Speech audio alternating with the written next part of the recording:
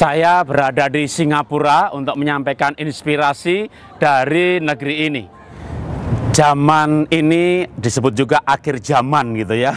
Zaman di mana perubahan memang terjadi luar biasa. Lalu ada muncul aneka fasilitas dan kenikmatan sehingga kebutuhan pun menjadi meningkat luar biasa. Karena kebutuhan meningkat karena keinginan yang memang tersedia, lalu semua orang menjadi bekerja untuk mendapatkannya suami bekerja, istri bekerja, anak bekerja, eh tiba-tiba rumahnya kosong karena tidak ada yang tinggal di rumah atau kalau toh ada di rumah masih membawa pulang pekerjaannya. Rupanya zaman modern ini juga merubah sendi-sendi keluarga di mana keluarga semuanya sibuk, sibuk, sibuk, tidak berkomunikasi, tiba-tiba ya pasangannya orang tua anak menjadi asing.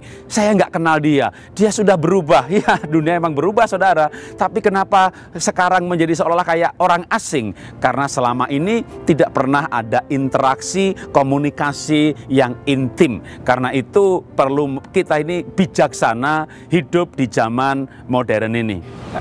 Bagaimana menghadapi solusi seperti masalah ini? Maka inspirasinya saya ambil dari bukunya Chris Ines yang menulis Better Communication in Your Marriage. Nah, yang paling penting sebenarnya adalah komunikasi. Kalau antara suami istri ada keterbukaan, sama-sama punya Facebook, sama-sama punya Instagram, lalu bercerita, eh saya ikut grup nih, grup alumni nih, eh teman si itu tuh, wih ngajak ketemu nih. Nah, kita kita selalu terbuka, selalu bercerita, nggak masalah gitu ya. Yang masalah kalau memang hubungannya jelek, nggak ada keterbukaan, tahu-tahu istri buka HP atau smartphone atau tabletnya pasangan, suami istri, waduh, lo kok dia eh, ada fotonya sama si ini si itu, nggak ada ceritanya, waduh, cemburu, berantem, meledak, bubar.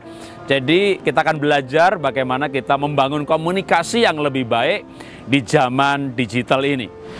Chris Ines menyarankan untuk membangun keterbukaan sehingga tidak ada kecurigaan yang memicu kecemburuan. Jadi saya juga mempraktekkan prinsip ini. Saya buka Facebook, istri punya juga, dia punya Instagram, ya kita ikut juga. Wah, grup WhatsApp-nya saya punya uh, grup alumni uh, kuliah, dia punya juga. Lalu kita saling bercerita di grup kita ada posting apa, dia dapat gambar lucu, dia ada gambar-gambar agak ya agak ngawur-ngawur dikit sedikit tapi menarik. Nah, itu kita saling berbagi gambar, berbagi video, kita bercerita.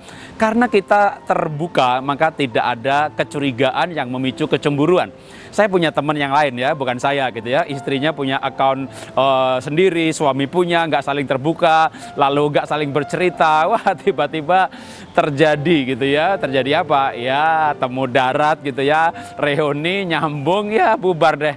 Nah, uh, ini sebenarnya bisa di, di, bisa dicegah gitu ya kalau kita membangun keterbukaan di dalam pernikahan kita. Kalau saya malah keterbukaannya ekstrim dalam arti istri saya tahu, saya juga tahu istri saya punya HP, punya Facebook, punya akun passwordnya apa, kita bisa saling tukar, saling pakai karena kita mengerti, kita terbuka dalam segala hal, terbuka dalam keuangan, terbuka dalam akun-akun uh, media sosial. Nah, ini membuat kami nggak pernah bertengkar karena cemburu ataupun karena curiga, karena keterbukaan memang membangun uh, kepercayaan. Chris Ines memberikan saran lebih jauh yaitu jangan iseng dan jangan melangkah lebih jauh. Ya, misalnya Anda punya Facebook lalu berteman dengan mantan ya, mantan pacar. Wah, dia yang ngajak janji bertemu. Nggak masalah ya kalau ketemunya reuni rame-rame. Tapi kalau ngajak ketemu berdua, itu namanya cari gara-gara. Boleh sih ajak istri Anda, ajak suami Anda. Karena kalau Anda bertemu berdua, nah dari pertemuan itu ketahuan gitu ya, dia sudah bercerai. Wah, dia lagi punya masalah dengan pasangannya. Itu namanya emang Anda cari gara-gara uh, pertimbangan baik-baik gitu ya. Apalagi Anda juga lagi punya masalah gitu ya. Anda ini memang berniat mau bubaran atau niat mau pulih. Nah, saran saya maka jangan iseng seperti itu karena itu akan menghancurkan pernikahan Anda. Anda memang mungkin bergairah, mungkin memang Anda menjadi wih seperti muda kembali, terkenang kembali. Ini cinta sejati. Uh, tapi itu uh, bukan hanya merusak pernikahan, itu Anda melangkah di dalam dosa selanjutnya bangunlah pernikahan Anda. Buang kecewa, buang kepahitan, jangan iseng apalagi melangkah terlalu jauh. Sebaliknya justru melangkahlah untuk membangun keintiman bersama pasangan Anda, bangun keterbukaan dan nikmatilah kebahagiaan di dalam pernikahan Anda. Inilah inspirasi yang saya sampaikan dari Singapura. Salam dahsyat, luar biasa.